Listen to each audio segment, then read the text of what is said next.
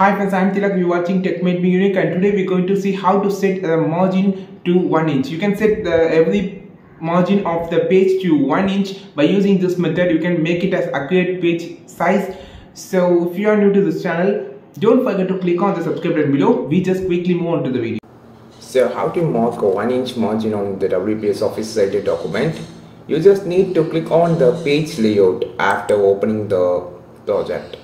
And here you just need to change, you can see top, bottom, left and right. So these are the, these are given in inches.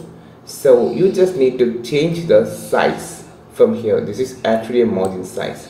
You just need to click one, actually it's over here one. You can see the changes now bottom one and right side one so now automatically the everything every corner has changes to margin as one inch by this option you can easily change the margin size to one inch.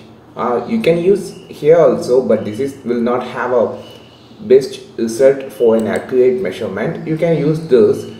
And also you can click on the margin option here and go to the custom margin option. And here there will be a page setup here you can also sit here.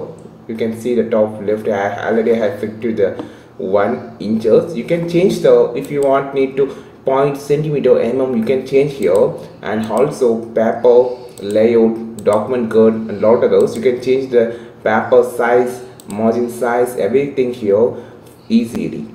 So you can also apply the extra options like multiple pages or the, for whole document the changes should be applied or not. You can select from here I think this video helped you a lot. If it is really helped you a lot like this video share this video with your friends and don't forget to click on the subscribe button below. If you want more content about WPS Office Writer just follow this channel. We will meet on next video with a super valuable content. This is Tilak signing off from Tech Made Me Unique.